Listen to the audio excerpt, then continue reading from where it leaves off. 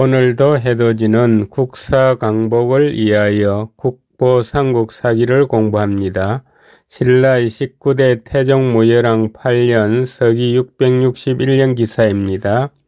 6월에 대관사 정수 위혈하고 금마군지 유혈 광오보하더니 왕흥하니라. 여섯육 달을 6월에 큰대 벼슬관 절사 운물정 물수 대관사 운물물이 할위 피혈 피가 되고 세금 말마 고을군 땅지 금마군 땅에 흐를류 피혈 피가 흘러 넓을광 다섯도 걸음보 너비가 다섯 걸음이 되었다. 임금왕 죽을 흥 임금이 죽었다.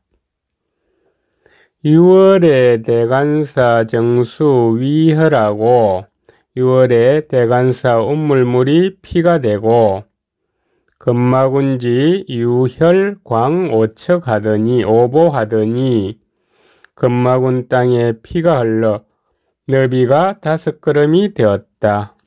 왕흥하니라. 임금이 죽었다.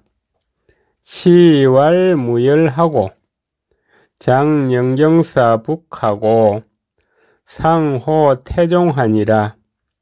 고정부 문부하고 그의 어 낙성문하니라.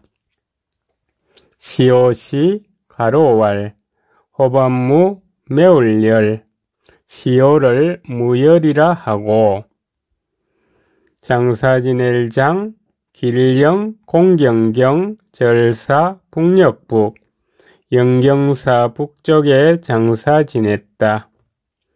위상 이름호 클태 마루종 태종이라는 시호를 올렸다. 너풀고 마루종 쥐 들을 문 부고부 당고종이 부고를 듣고 덜거 슬플에 어조사어 물이름 락 재성 문문 낙성문에서 애도식을 거행하였다.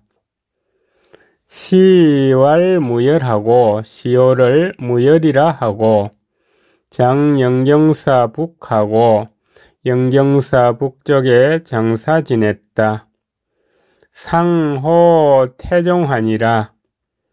태종이라는 시호를 올렸다. 고종문부하고 당고종이 부고를 듣고 그애 어 낙성문하니라.